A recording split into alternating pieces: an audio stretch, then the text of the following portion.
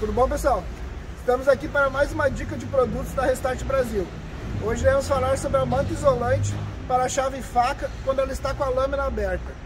Estamos no nosso ambiente seguro, controlado, nossa rede rebaixada didática para a execução desse vídeo. Lembre-se de se inscrever no nosso canal e ativar o sininho para receber a notificação dos vídeos que nós fizemos toda sexta-feira. Esse lençol foi desenvolvido para atender as diferentes classes de tensão que as chaves facas possuem, tanto 34, 25 ou 15 kV.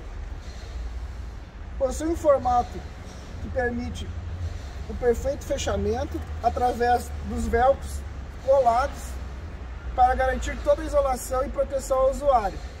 Sua instalação é, uma forma, é feita de forma bastante simples. Só colocar na lâmina, ele possui um velcro para fazer o fechamento em cima e evitar que o lençol caia.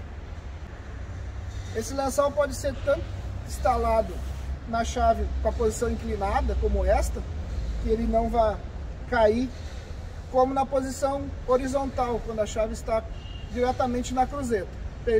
Desse mesmo jeito permite a perfeita isolação e proteção ao usuário. Gostaram da dica de produtos da Restart Brasil de hoje?